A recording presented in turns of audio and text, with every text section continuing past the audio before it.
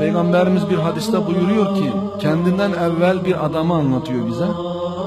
Diyor ki birisi vardı 99 kişiyi öldürdü.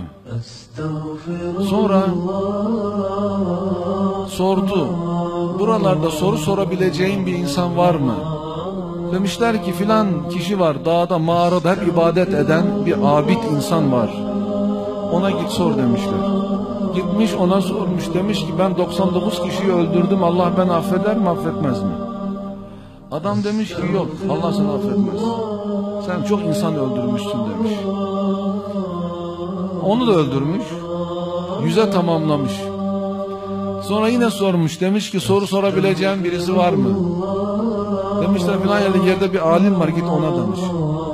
Gitmiş ona danışmış. Demiş hocam ben yüz kişi öldürdüm. Allah beni affeder mi affetmez mi? Hoca da diyor ki Allah seni affeder. Tövbe edeceksin.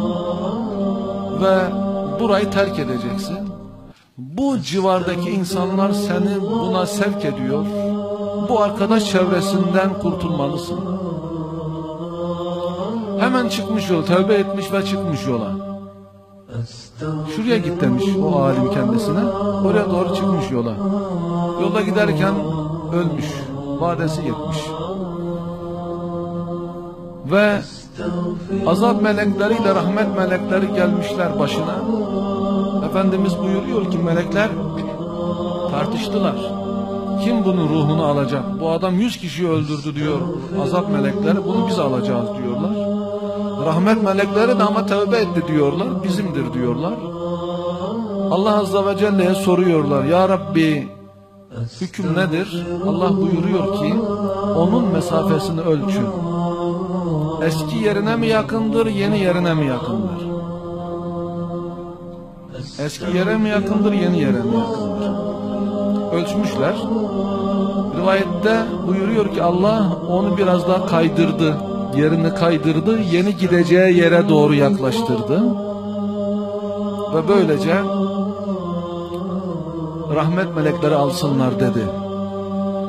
Şimdi eğer bu adam yarın giderim hocam deseydi, hele şu işlerimi halledeyim deseydi, orada ölecekti. Belki de bağışlanmayacaktı. Hemen çıktı yola. Demek ki tövbe eden insan hemen çevre değiştirmeli.